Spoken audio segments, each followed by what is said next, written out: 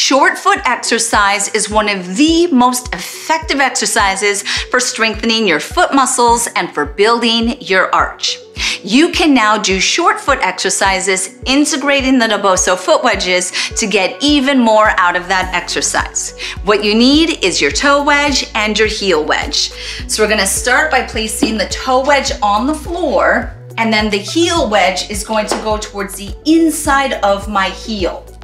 I'm gonna place my foot against the toe wedge with the ball of the heel on the floor. And then I'm going to position my heel onto that heel wedge in a way that it pulls my heel into a more neutral or inverted position. Once I've got my position, I'm going to set my body up, slight bend in the knee, nice and tall, and I'm gonna start to push my toes against the toe wedge.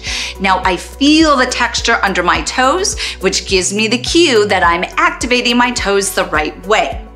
This combination of toes increased and heel inverted is putting your foot in a position that supports stronger foot activation.